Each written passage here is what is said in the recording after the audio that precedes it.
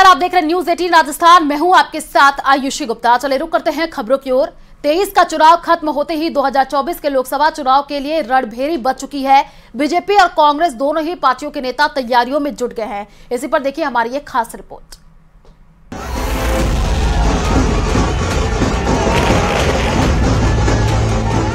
आज हर गरीब कह रहा है, वो खुद जीता है।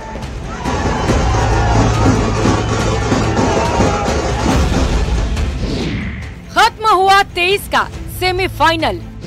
अब 24 के फाइनल की तैयारी। बीजेपी तैयार, कांग्रेस का ऐलान।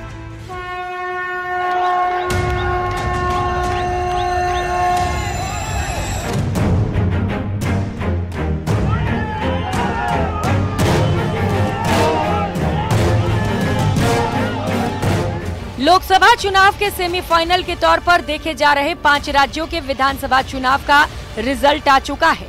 बीजेपी इस सेमीफाइनल की निर्विवाद विजेता बनकर उभरी है।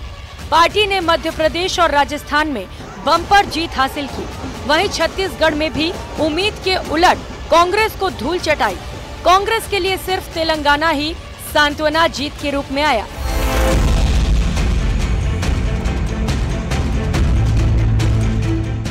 दो हज़ार तेईस का रण खत्म होते ही अब सभी पार्टियाँ 2024 के लोकसभा चुनाव की तैयारियों में जुट गई हैं। बीजेपी और कांग्रेस के नेता अभी से 2024 के लिए रण तैयार करने में लग गए हैं पीएम मोदी ने विधानसभा चुनावों में मिली जीत के बाद जब पार्टी कार्यकर्ताओं को संबोधित किया तो उसमें भी उन्होंने 2024 में जीत की हैट्रिक की बात कही थी भाजपा ने सेवा और सुशासन की राजनीति का नया मॉडल देश के सामने प्रस्तुत किया है।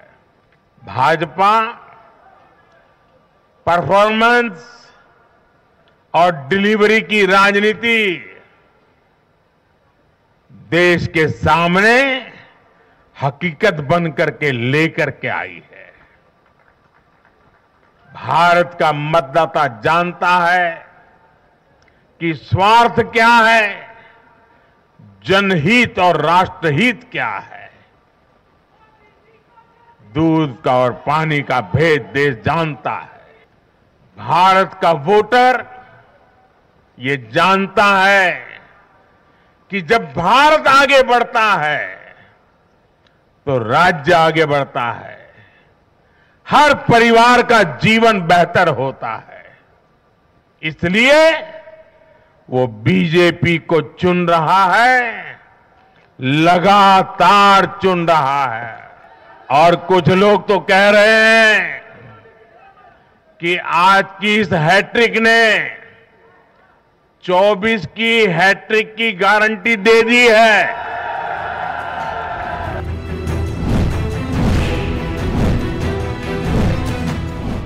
इधर राजस्थान में कांग्रेस की हार को लेकर हुई समीक्षा बैठक के बाद राजस्थान कांग्रेस के प्रभारी ने 24 की जंग का ऐलान कर दिया।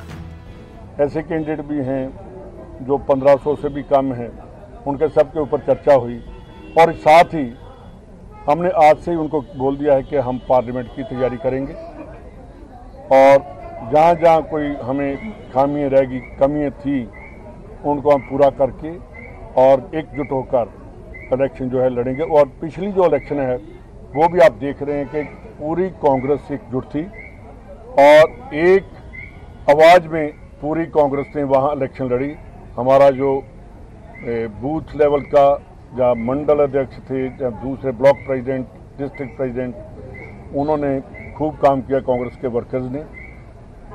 उनके लिए उनको भी धन्यवाद मैं करता हूँ और जो हमारे लीडर्स साहबान हैं इन्होंने भी आज कहा है कि जो पार्लियामेंट है, उसका आज से ही तैयारी करनी चाहिए और हमें फाइट करनी है और लोगों को बताना है कि हम जीत कर आएँगे सबसे पहले तीन राज्यों, राजस्थान, मध्य प्रदेश और छत्तीसगढ़ में बीजेपी और कांग्रेस को मिली सीटें और वोट शेयर को जानते हैं। राजस्थान में बीजेपी ने 115 सीटों पर जीत हासिल की। कांग्रेस के खाते में उनहत्तर सीटें गई बीजेपी को इकतालीस दशमलव छह नौ फ़ीसदी वोट मिले हैं। कांग्रेस को उनचालीस दशमलव पाँच तीन प्रतिशत वोट मिले। मध्य प्रदेश में बीजेपी ने एक सीटें जीती। कांग्रेस छियासठ पर विजयी हुई। बीजेपी को अड़तालीस दशमलव पाँच पाँच प्रतिशत वोट मिले। कांग्रेस को चालीस दशमलव चार शून्य फ़ीसदी वोट मिले। छत्तीसगढ़ में बीजेपी को चौवन सीटें मिली।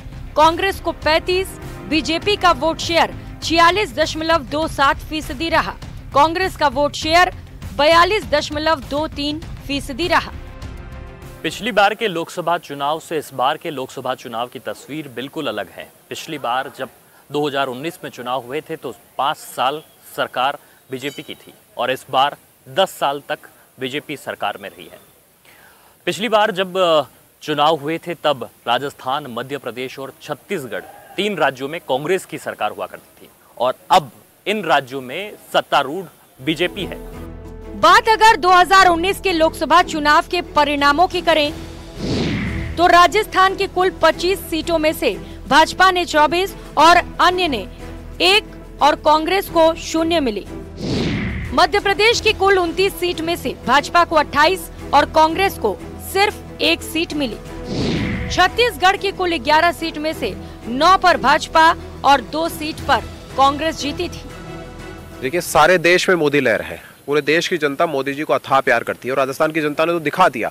ना केवल चुनाव परिणाम में, बल्कि जब चुनाव प्रचार में मोदी जी पूरे प्रदेश में घूम रहे थे, तब उनकी सभाओं में जयपुर में जो रोड शो हुआ, उसमें जिस तरह अपार जनता निकल कर आई, लोगों ने उनको प्यार और स्नेह दिया, उसी से पता चलता है कि देश के जनमानस में आज मोदी जी बसे हुए हैं।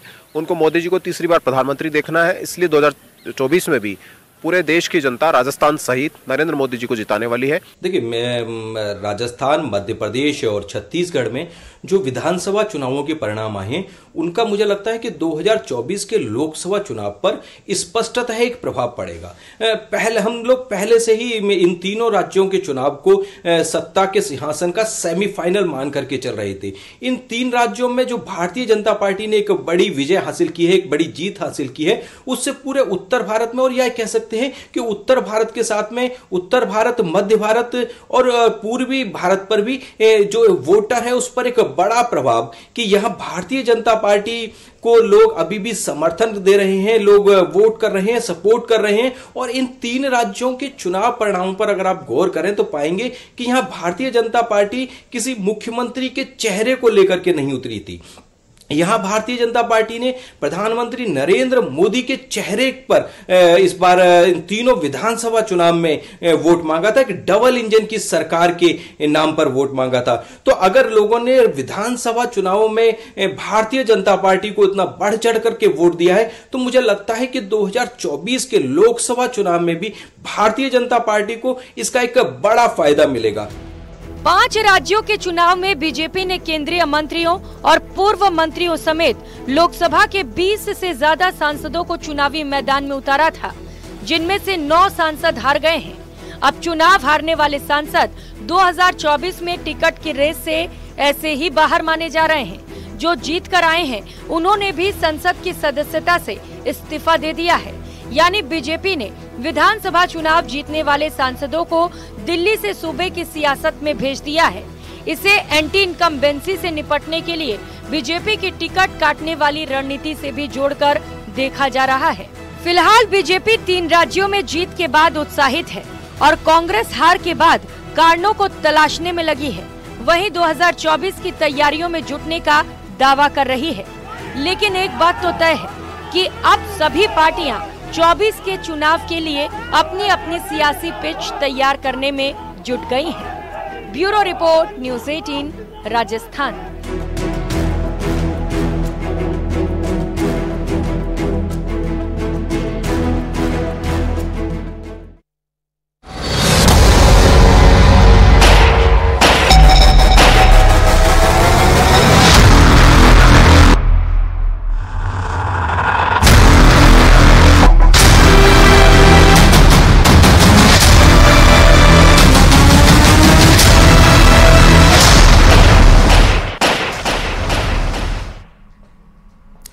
Sukhdev Singh Gogamedi के हत्यारे पुलिस के हाथे चढ़ गए हैं। पुलिस ने आरोपियों को चंडीगढ़ से गिरफ़्तार किया। अब आरोपियों से पूछताछ में बड़े खुलासे हो सकते हैं। देखिए रिपोर्ट।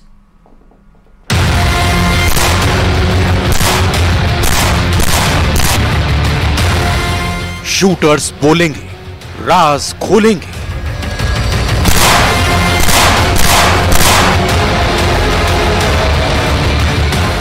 हत्या से पहले की थी रेकी।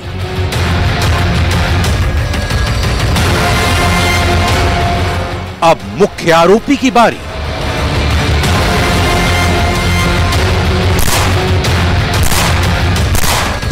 सीसीटीवी की एक तस्वीर पाँच दिसंबर की। जब श्री राष्ट्रीय राजपूत करणी सेना के अध्यक्ष सुखदेव सिंह गोगामेड़ी की गोली मारकर हत्या कर दी गई थी।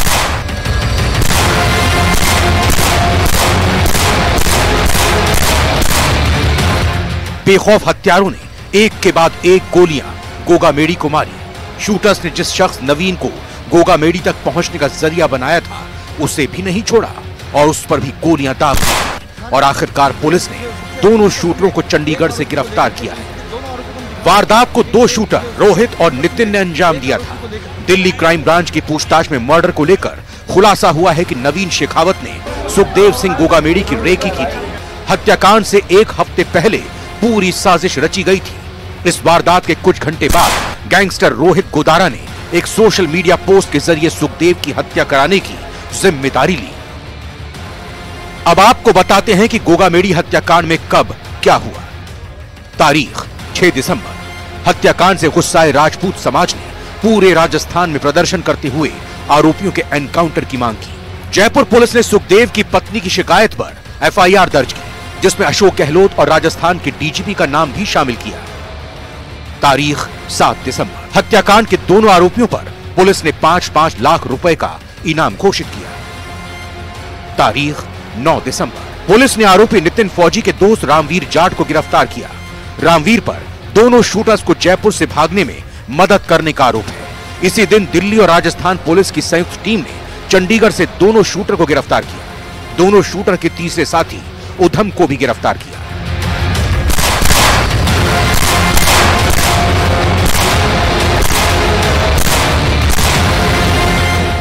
आज शूटर रोहित और उसके सहयोगी उधम को दिल्ली की स्पेशल सेल की टीम जयपुर के सौडाला थाने में लेकर पहुँची। भारी सुरक्षा के बीच दिल्ली पुलिस दोनों आरोपियों को जयपुर लेकर पहुँची। इसके बाद Jaipur police commissioner Biju George Joseph ने प्रेस कॉन्फ्रेंस की, जिसमें उन्होंने बताया कि पुलिस मुख्य आरोपी को गिरफ़्तार करने की तैयारी में है और रोहित और उधम से पूछताछ के आधार पर आगे की कार्रवाई करेगी। जो मास्टरमाइंड है, जो कॉन्स्पिरेटर मेन कॉन्स्पिरेटर है उन तक जाल बिछा रखा है। तो हमारा नेक्स्ट जो चरण है इस पूरा एपिसोड को जिस तरह तैयार किया उन तक लान उन तक पहुँचे और उन, उनको कानून के सामने लाने का है। ये सब आज के दिन में रिकॉर्ड पर जो चीज़ आपको कहा है बाकी जो सूचनाएँ हैं उसको चेन बाय चेन कड़ी कड़ी से कड़ी हमें स्थापित करना है फ़ाइल में। आरोपियों से अब तक की पूछताछ में खुलासा हुआ है कि हत्याकांड को अंजाम देने के एक हफ़्ते पहले पूरी साजिश रची गई।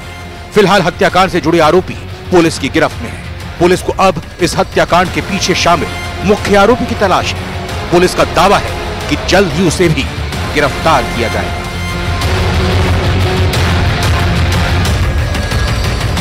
Bureau report, news 18 Rajasthan.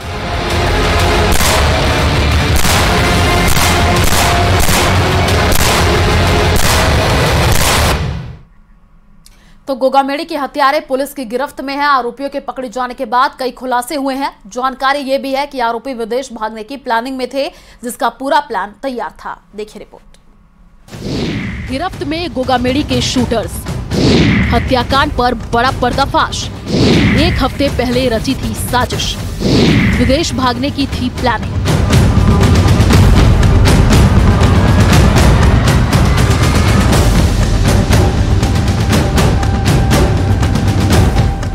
Sukhdev Singh Gogamedi को मौत की घाट उतारने वाले शूटर्स को पुलिस ने गिरफ़्तार कर लिया है। सूत्रों के मुताबिक शरण लेने के लिए दोनों आरोपी कुल्लू की तरफ़ गए थे।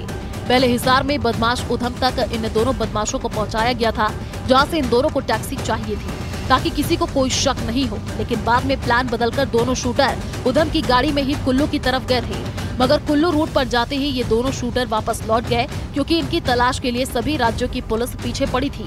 उसके बाद ये वापस कल शाम को चंडीगढ़ पहुँचे थे, जहाँ पर उधम दोनों को लेकर आया था। वहीं पर रात को शराब की दुकान के अहाते में बैठकर शराब पी रहे थे और आगे की प्लानिंग की जा रही थी। अब आपको पुलिस के मुताबिक इन आरोपियों के फरारी का रूट मैप बताते हैं। आरोपी जयपुर से डिडवाना पहुँचे। डिडवाना से आरोपी धारूहेड़ा पहुँचे। आरोपी धारूहेड़ा से रेवाड़ी पहुँचे। रेवाड़ी से हिसार पहुँचे। हिसार से आरोपी मनाली पहुँचे। मनाली से फिर आरोपी चंडीगढ़ पहुँचे। जानकारी ये भी है कि आरोपी चंडीगढ़ के बाद गोवा में छिपना चाहते थे, जहाँ से इन्हें विदेश जाना था। आरोपियों के लिए 20 दिन के अंदर पासपोर्ट, वीज़ा का इंतज़ाम होना था। ये जो राजस्थान जयपुर में करनी सेना, राष्ट्रीय राजपूत करनी सेना के अध्यक्ष श्री सुखदेव सिंह गोगामेडी की 5 दिसंबर को हत्या हुई थी। उस संदर्भ में तीन मुख्य अभियुक्त थे। उनको गिरफ़्तार किया दिल्ली पुलिस क्राइम ब्रांच की एनडीआर की शाखा ने, डीसीपी अमित, एसीपी उमेश और इंस्पेक्टर राकेश की टीम ने। इसमें हम पिछले बहत्तर घंटे से उनका ट्रैक कर रहे थे, उनके पीछे थे। जैसे जैसे उनकी मूवमेंट हुई, जयपुर से डीडवाना डीडवाना से धारूएड़ा धारूएड़ा से रेवाड़ी रेवाड़ी से हिसार हिसार से मनाली मनाली से चंडीगढ़। चंडीगढ़ में जाके हमने उनको दबोचा है रात में और अब उनको राजस्थान पुलिस के हवाले कर रहे हैं। पुलिस की कार्रवाई शुरू हुई तो चार चेहरे सामने आए इनके गले तक पुलिस का हाथ पहुँचा और ये सभी सलाखों तक। रोहित शूटर नितिन फौजी शूटर उधम मददगार रामवीर जाट मददगार। वहीं आरोपियों के कनेक्शन को लेकर के एडीजी क्राइम दिनेश एमएम ने क्या कुछ कहा वो सुनिए। हिसार में जो हमारी जो हमारी जो टीम थी उनको कुछ असिस्टेंस की ज़रूरत थी। इसलिए वो जो जब आ, एक रविंदर सिंह यादव है एडीजी क्राइम में उनसे मैंने बात की थी। उनकी टीम हमारे साथ जुड़ी थी। तो उसके बाद एक ज्वाइंटली गए ज्वाइंटली जाके चंडीगढ़ से दोनों को साथ में पकड़ा था। लेकिन ये जो ये गैंग है जो इनकी दिल्ली में भी कई फायरिंग हुए दिल्ली में भी कुछ इंसिडेंट्स हुए और नितिन फौजी के अभी इस गैंग से जुड़ा था। इसको इस गैंग के बारे में ज़्यादा जानकारी नहीं है। और रोहित रोहित रोहित राठौड़ है ये पहले से जुड़ा हुआ इस तरह से उनके पास भी इन्फॉर्मेशन था। उसको थोड़ा डिटेल में इंट्रोगेट करना चाह रहे थे वो लोग। इसीलिए उनको ले गए, उसके इनके इंट्रोगेशन हो गया, उसके बाद उनको लेके आ गए। फ़िलहाल आरोपी पुलिस की हिरासत में है, जिससे अब पूछताछ की जाएगी, जिसके बाद इस हत्याकांड में कई बड़े खुलासे हो सकते हैं। Bureau report, news eighteen, Rajasthan.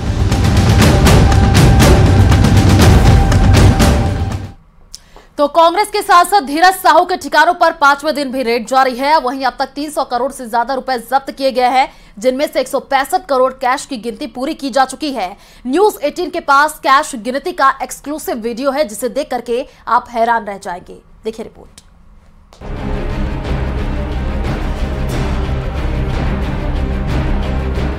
इस वीडियो को देखिए, बड़ा सा हॉल। हॉल में बहुत बड़ा टेबल और टेबल पर अनगिनत पड़े नोटों के बंडल। नोट सिर्फ़ सेंटर टेबल पर ही नहीं दिख रहे, बल्कि पूरे हॉल में नोट ही नोट की गड्डियाँ बिखरी पड़ी हैं।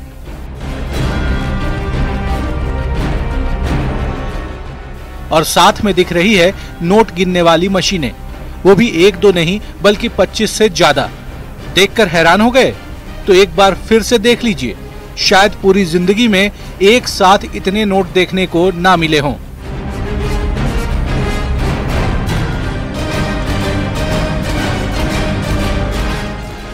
तस्वीरों को देखने से किसी फैक्ट्री की फीलिंग आ रही होगी। ये लेकिन कोई सामान बनाने वाली फैक्ट्री नहीं है, बल्कि स्टेट बैंक ऑफ़ इंडिया की शाखा है, जहाँ कांग्रेस सांसद धीरज साहू की नोट फैक्ट्री से मिले नोटों की गिनती जारी है। जी, धीरज साहू के ठिकानों से मिले कैश का अंदाज़ा इसी बात से लगा सकते हैं कि नोट गिनने में तीन दिन लग गए। यही नहीं, नोट गिनने के इस काम में 25 से अधिक नोट गिनने वाली मशीनें और 50 से अधिक बैंक कर्मचारी लगे रहे। ये जानकर और हैरान रह जाएँगे कि धीरज साहू के ठिकानों से मिले इन नोटों को गिनने में तीन तीन बैंक के कर्मचारी लगे हुए हैं। कांग्रेस नेता के इस रुपयों की फैक्ट्री को देखकर इंसान तो क्या शायद मशीनें भी हैरत में पड़ गई हैं।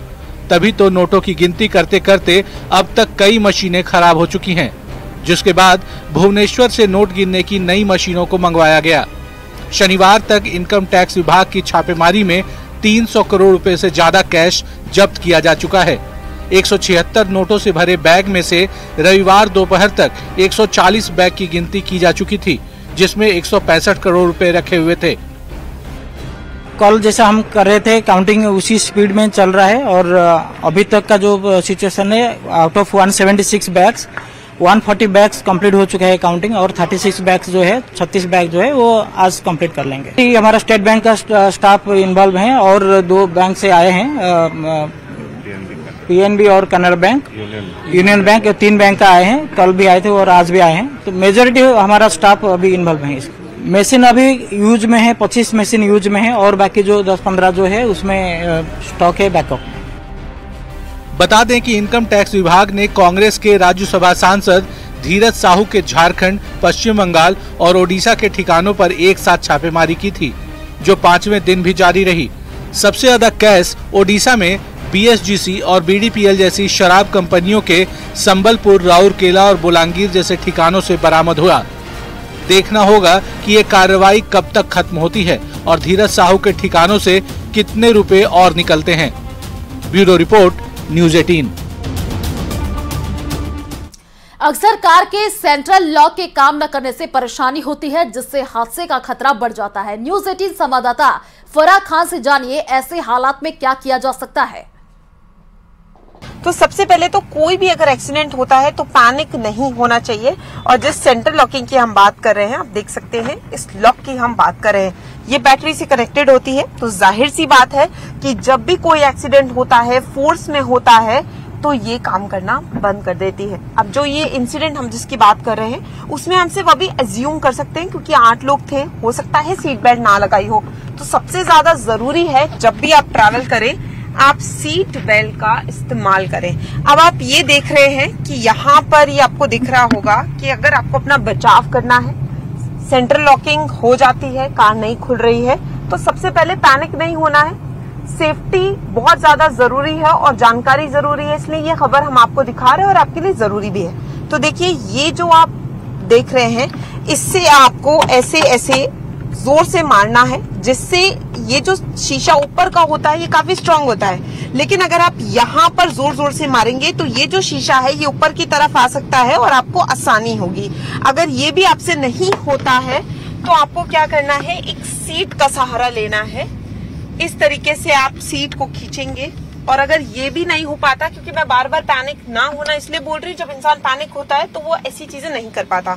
जब आप इसको निकाल लेंगे तो आपको इसे ज़ोर ज़ोर से मारना है। मारने के बाद जब आप इसे ज़ोर से मारेंगे तो ये शीशा जो है ये निकल जाएगा। या आप चाहें तो ऐसे भी इसे मार सकते हैं तो शीशा टूट जाएगा। फोर्स से मारना है आपको। जब ये हो जाएगा तो उसके बाद आप निकल सकते हैं। ये बात तो हमने सेंट्रल लॉकिंग की की। कई बार क्या होता है कि जब इस तरीके का कोई एक्सीडेंट होता है, पैसेंजर ज़्यादा होते हैं तो उसके बाद सेंट्रल लॉकिंग नहीं भी होती तो बहुत ज़्यादा लोग जो है, वो पैनिक हो जाते हैं क्योंकि पैसेंजर ज़्यादा हैं। तो सबसे ज़्यादा ज़रूरी है कि जो भी पैसेंजर पीछे है, सबसे पहले उसको निकाले ताकि वो आगे वाले की हेल्प कर सके। और जो ये पूरा ये जो केस है, इसमें बताया गया है और इसमें अज्यूम किया जा रहा है कि आठ लोग थे सीट बेल्ट नहीं थी। तो अपनी सेफ्टी का आपको बहुत ज़्यादा ध्यान रखना है।